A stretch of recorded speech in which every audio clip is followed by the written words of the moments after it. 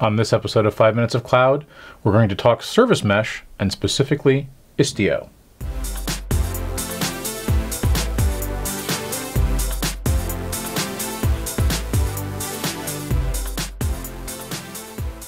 If you've been working at all in the microservices space over the past couple of years, the concept of a service mesh is probably not new to you.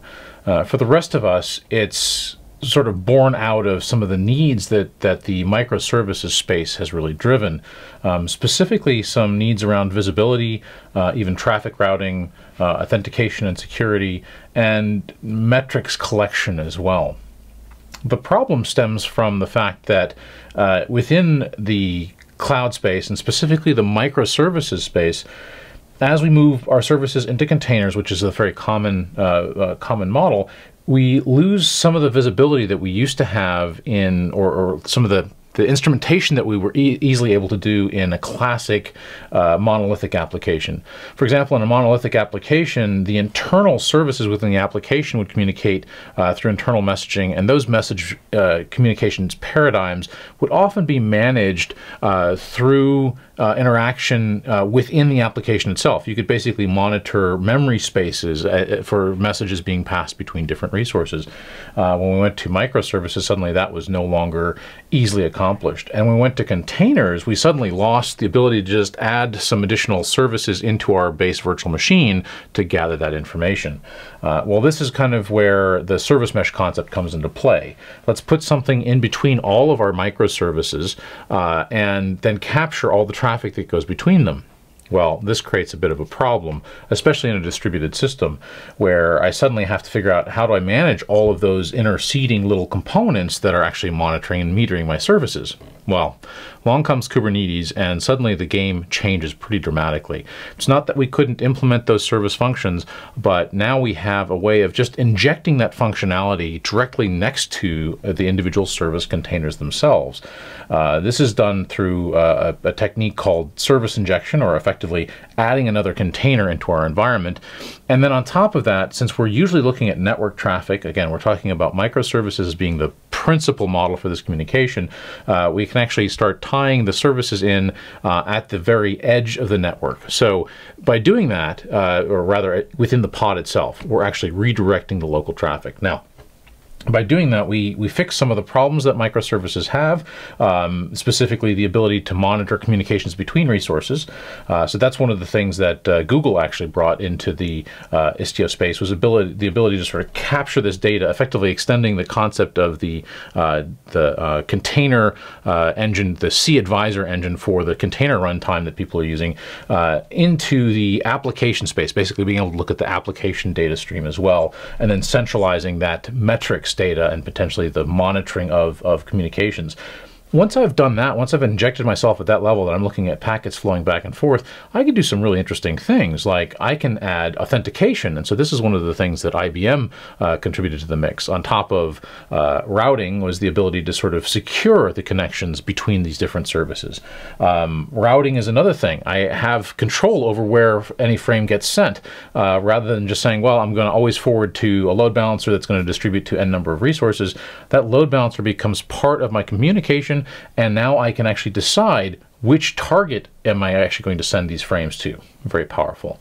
And since I have this level of control, I can even do some interesting things like inject fault. So when I start distributing my application to these microservices, it gets harder to figure out how my application is going to behave if something breaks. How do I actually force failures in any one particular microservice to check how my application remains resilient in, in face of, of, of that kind of a failure? Well, I can now start injecting that as a part of either my QA development process, all the way up to even including that injection at the production level. I can continue to create faults to make sure that my system continues to behave properly, and if not, I can actually alert against that. Um, so this is some of the interaction that the microservices mesh, uh, service mesh space actually provides, and Istio helps provide this uh, through an injectable proxy. So basically, I'm going to take a proxy engine. In this case, they're using, uh, uh or the Istio space is using the Envoy proxy, which was initially developed by Lyft, is now an open source project, a part of the CNCF. Uh, actually, Istio is also part of the CNCF, and for those of you that haven't heard of that, that's the Cloud Native con- uh, Compute Foundation, which is a, a sub uh, a sub foundation within the Linux Foundation space. Um, so this service uh, functionality is really what uh, what Istio is providing. Uh, Istio provides this Envoy uh, proxy capability that gets injected with each container in the Kubernetes space, or gets inserted into the forwarding path if you want to use a non-Kubernetes model, either with containers like Docker or even virtual machines. You could actually add this proxy as a process within a virtual machine and inject traffic through through that way. So we can use microservices. We can use mega services, monolithic services as well, and we can use this service mesh to tie them all together. Uh, but with Istio specifically, we get uh, authentication. So because I'm going, all traffic is going through these Envoy proxies, um, I can actually authenticate end-to-end communication. I can monitor and meter traffic, understand what's going on, what latencies look like, uh, what kind of throughput I'm getting uh, on a on a path by path basis. Uh, I can send that to a central tracing service, uh, open tracing, like the Jaeger project is, is one of the fairly common ones that gets used there. Um, I can also start looking at routing. Like I said, I can redirect traffic, uh, and I can do that based on uh, within the Kubernetes space. For example, I can just use labels to actually define where my endpoints are and what what services are supposed to go where. So that's incredibly powerful. Um, but I also have central control, and this is sort of the last thing that Istio brings is uh, central certificate control. That's important for the the TLS authentication. Uh, central uh, metrics gathering uh, with a tool called Mixer that actually gathers all the metrics data data together, and then central configuration control. And this is actually why Envoy was picked as a proxy, because now I have a central controller that can distribute the configuration to all of the distributed proxies that are out there within that mesh. Uh, and Envoy does this in a, uh, a very efficient fashion because it doesn't uh, actually require a restart on reconfiguration. It can do a hot reconfiguration, so a pretty powerful tool. So Service Mesh is an important component of the microservices space, and it really changes how microservices are stitched together uh, how they're metered, monitored, and, and really even uh, looking at, at improving the performance and the resiliency of those services by injecting fault, all from a centralized control plane with security. So lots of things all in that one big bundle, uh, but that's really the Istio capabilities, and it's part of that greater service mesh space uh, within the, the cloud native uh, engine that, that is, that is really sort of taking over how applications are built these days.